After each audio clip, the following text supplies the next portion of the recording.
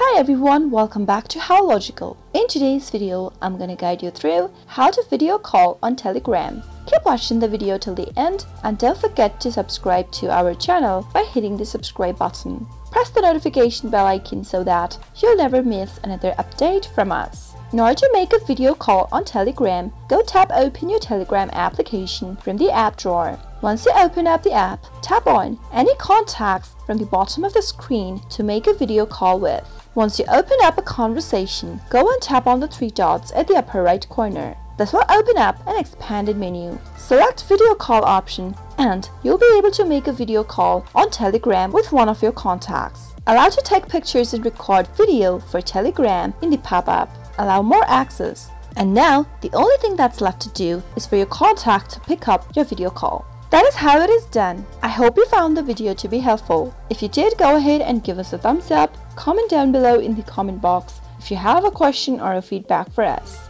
I'll soon be back with more tutorial episodes. Goodbye till then.